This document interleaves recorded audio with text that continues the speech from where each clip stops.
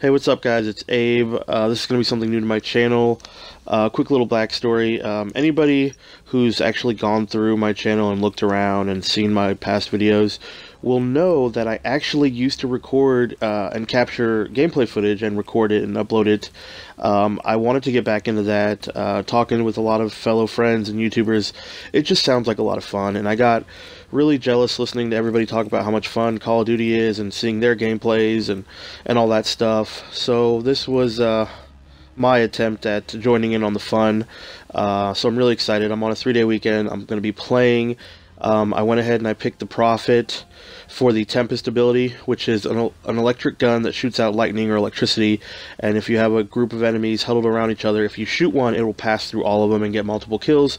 And that's what I wanted to do. I want to level up quick. I want to show some gameplay. And yeah, so this is just something new to my channel. I appreciate it. Thank you guys so much for inspiring me, motivating me, and being the best there is. Spread the love. Stay tuned. We're going to have a lot of fun on my channel. Thanks a lot, guys. Peace.